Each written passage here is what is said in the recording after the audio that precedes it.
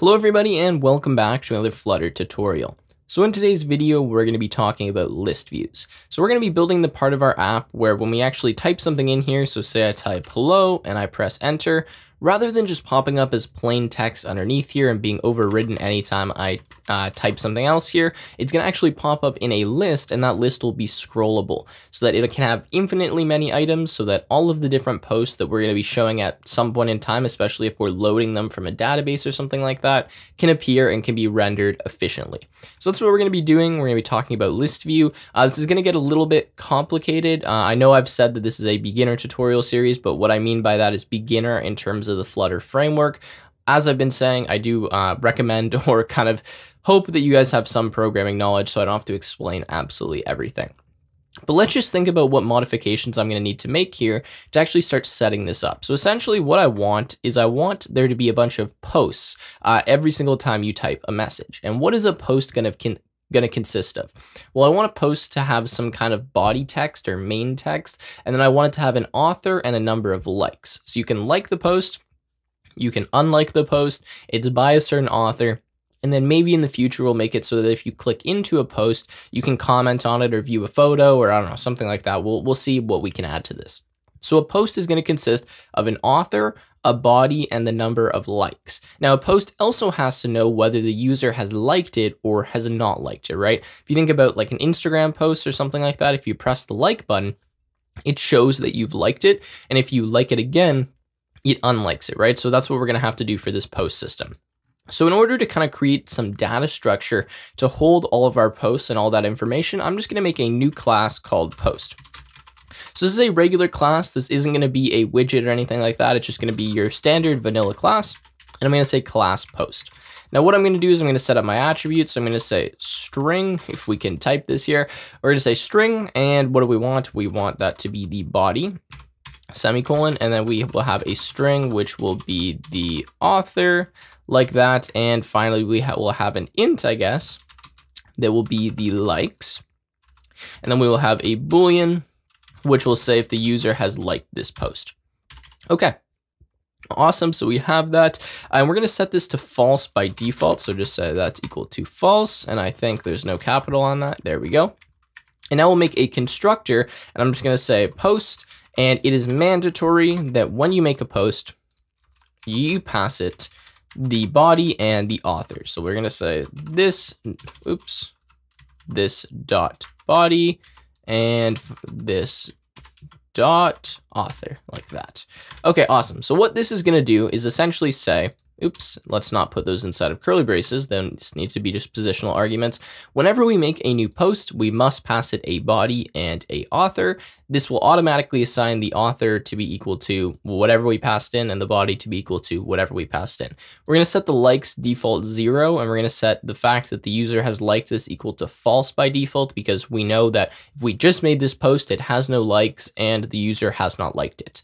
Then we're going to add a method that is going to be run whenever the user likes this post. So it will add one to the likes of this post or subtract one based on if the user has already clicked it or not. So let's just add a void here. We'll say void, um, you know, like post or something like that. And all we're going to do inside of here is say if, oops, actually, we're going to change this. We're going to say this dot user liked equals not, which is this exclamation point, this dot user liked. So this will simply reverse whatever this is. So if user liked is false and then we call this, it will become true. If it's true and we call this, it will become false.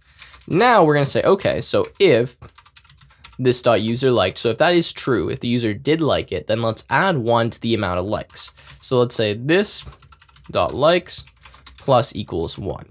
And we need a semicolon and then otherwise, so if they didn't like it, then we'll say, or if they unliked it, this dot likes minus equals one. So essentially, this is just saying if you press it and it was already pressed, subtract one like. If you press it and it wasn't pressed, add one like. And then that way you can just kind of spam it on and off and it will update one like, go away one like, you know, you get the point. It's going to go 0, 1, 0, 1, 0, 1. And now we have our post class. So what I need to do now is I need to figure out, okay, where am I going to draw this list view and how am I going to keep track of all of these posts? Well, right now what we have is that when we make a new post or we hit the message and we submit some text, it goes to this callback method, which is change text. What change text does is simply change the text that's showing up on the screen. Now that's not exactly what I want to happen. In fact, what I want to happen is I actually want to store a list of all of the posts. And I want to take this text that the user wrote inside of that field, and I want to make that into a post and store that somewhere. So what I'm going to need to do here is I'm going to need to actually make a list up here. So we're going to get rid of all this text related stuff. So including this text widget here, first of all.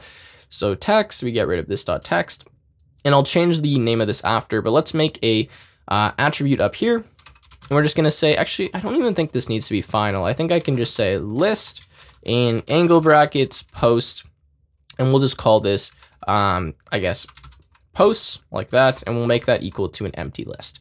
So we're just gonna start by having a list of posts uh, we denoting that saying that this is a list, it's going to store posts because that's what the angle brackets mean. We call that post, set it equal to an empty list. And now instead of calling change text, let's actually change this to new post so that it makes more sense. So new post, void new post takes some text. And what we're going to do here now is make a new post and add it to the post list. So we'll say post dot add, and then inside of here, we're going to say new post like that, and we need a body and an author. So for the body, that's going to be the text, and we don't yet have a notion of an author, so I'm just going to leave this as Tim for right now. So all of our authors will be called Tim. Um, doesn't matter. For right now, we'll just leave it like that, but we will probably end up changing this later. Now we need to change this callback method when we're passing that to body. So instead of, or not body, sorry, to text input widget, instead of this dot change text, I'm going to call this this dot new post, right? So now we will actually be modifying this list and adding the text to this list whenever a new post is created. So that's the basics. And that's how we kind of get that set up here. And now we need to actually make a list view that will be able to display all of these posts. And we're going to have to obviously put that inside of the body. So we're going to make a new widget that will be our post list. So what we're going to do for that is we're going to make a stateful widget. So we're going to say, uh, I guess, STF, and there you go, STFL. That's going to be stateful widget. We're just going to call this post list like that, pretty basic. And now let's just start rendering this list just so we can see how this works. So let's go inside of body we can see we have a column. And now, I let me just make sure that this is the right render. I don't want to mess it up for us. So let's see how I'm actually deciding to render this. Uh, yep, so we'll leave that as column. And then after text input widget, we're going to put our post list. So say post list like that, and just make a empty set of brackets. Now what I'm going to do is I'm actually going to put an expanded widget um, that contains all of this. So we'll say expanded like that, and we'll say child colon. I'll explain what that does after I just add the second one here. And we'll say expanded child colon, and we need to scroll over. Okay, let's go and add another bracket. Oops. Add another bracket like that.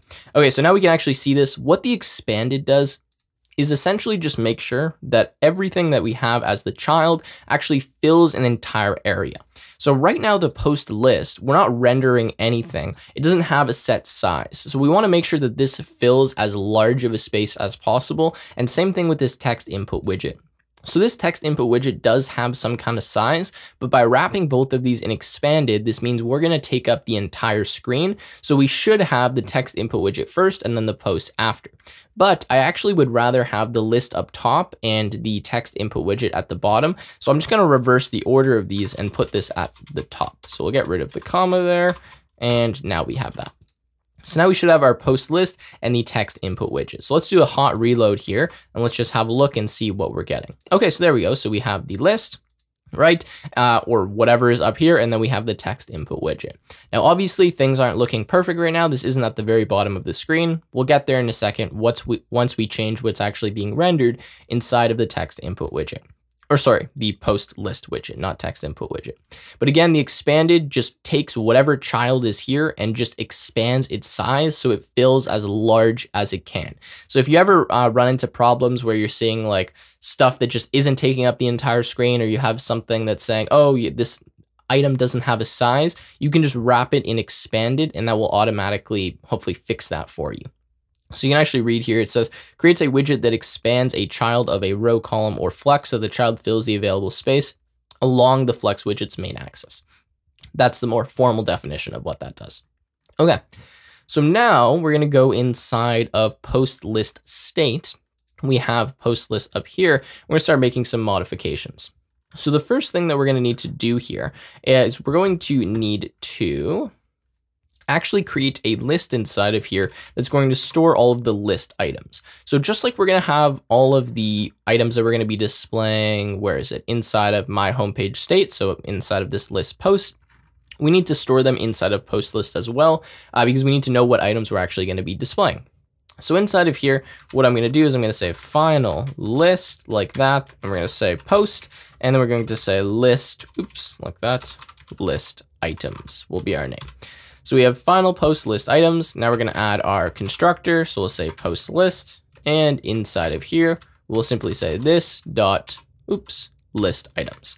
So the idea is that this post list will simply take a bunch of posts and it will display them for us. So that means that we need to pass our uh, post list here a list of posts to display.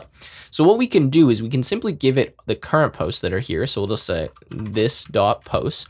And now whenever we have the text input widget and it adds a new post, it will modify this post here by setting the state. So we're saying this dot set state post dot add. So we're adding a new post, which is saying, hey, we're changing the state of this widget.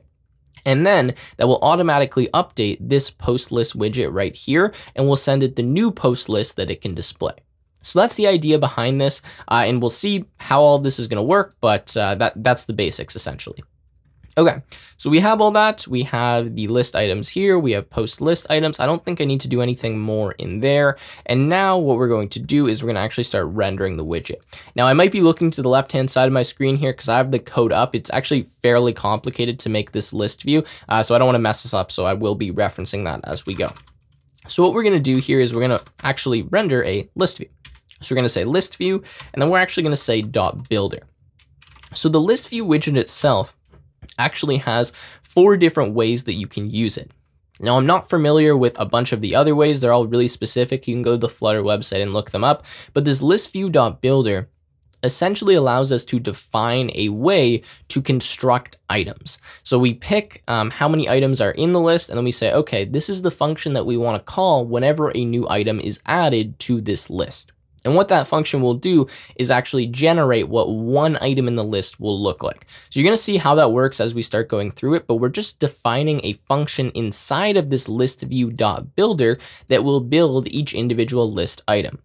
The reason for this in terms of a Flutter backend is that we don't want to render every single widget all the time. We only want to render widgets that are visible. So if we simply have a function that can just take some list item and render it, then we don't need to display every single list item at once. We can just call that function on the items that are visible and display those specific ones. At least I think that's the logic behind this, um, but we'll go through and we'll see how this works. So the first thing we need to do is we need to say item count is equal to, and we're going to say this dot widget because we're going to reference this stateful widget up top, and we're going to say dot I believe it's list items dot length.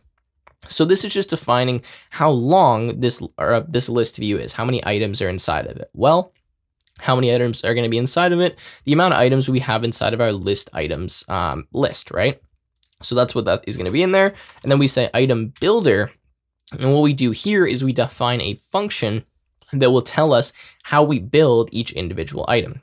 So what we're going to do is we're going to say context and then index like that, and then we'll put two squiggly brackets like that, and this denotes a function. So essentially what this is saying is that we have a context, we have some index, and then inside of here, we can use this index to display specific items. So the first thing I'm going to do is I'm going to say var post is equal to, and in this case, this dot widget dot list items, and we're going to index the index.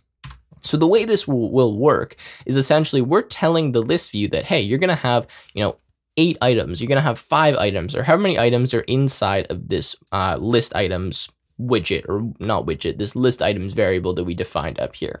That's how many items we know we're going to have. So we're kind of defining like, okay, we're going to have five, four, whatever it is. Now list view knows, okay, you're going to have four items.